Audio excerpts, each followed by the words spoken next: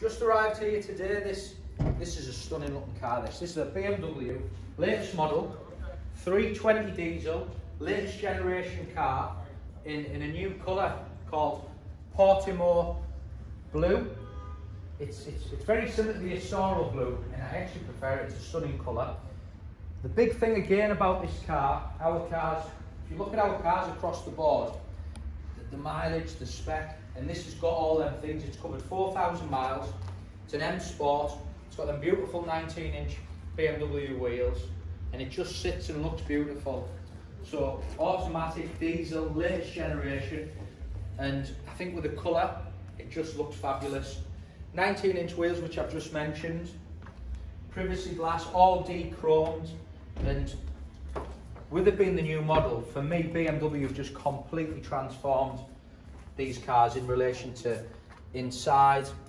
Also, it's got the other things you'd want. Harman Kardon sound system. Now, I can't explain how many customers ask me about that because the BMW sound system, the, the, the standard system isn't particularly great and the Harman Kardon completely changes the, the way the, the sound.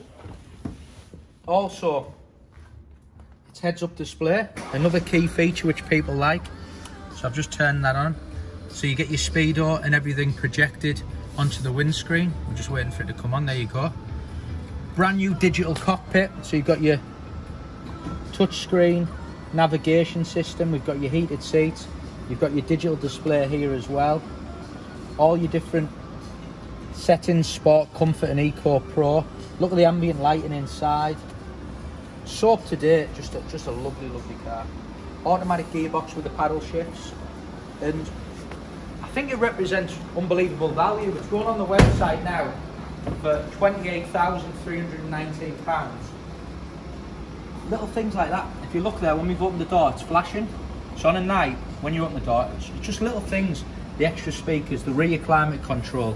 And the car, in relation to condition, is absolutely beautiful.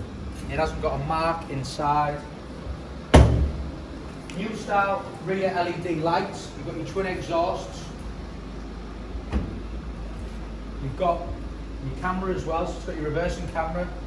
Loads of boot space, split folding seats. It just looks great and I think it's going to hit the website now. That car list price is, I think it was 46, 47,000 pounds. It's just over a year old, it's got all the right specs, with 4,000 miles. Great, great buy, £28,390.